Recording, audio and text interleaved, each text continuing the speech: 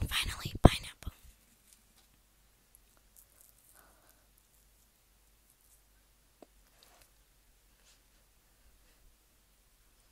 This one's